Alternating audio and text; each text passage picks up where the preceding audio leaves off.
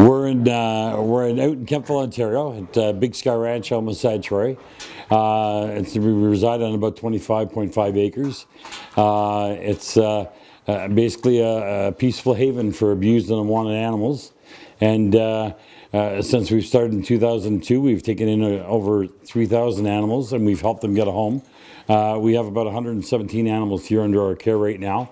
And, and our main object is to find these animals a home, let them continue their journey. And for those that can't, they, they cannot find a home, whether because of sickness or, or you know, whatever it may be, they have a home here. There's, uh, we don't rush animals out of here. We don't have a time limit. We're a no-kill sanctuary, and we believe that all animals deserve a second chance.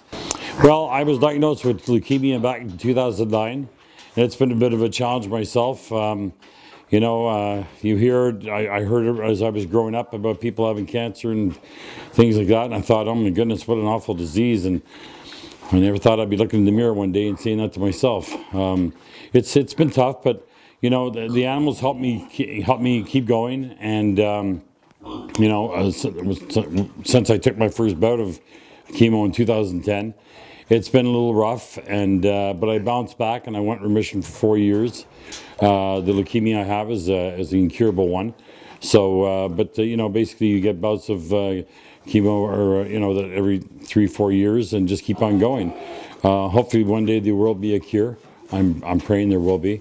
Um, but until then, I'm going to help these animals as much as I can. And Big Sky Ranch has become more of a haven for animals, but just as much as people. We have so many different organizations that come here, uh, children, uh, adults, uh, everyone. And uh, I'm so happy that this place opened up. It's funny, I never started, started out to open a place like this, but it just happened. And maybe that's why it's so pure. Maybe that's why everything has come together so nicely.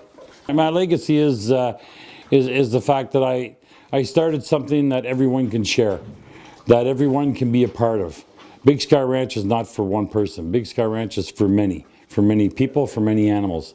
And I wanted to go on and be remembered that I was a person that cared about other individuals and and that life is not just about yourself, but life is about sharing your life with others.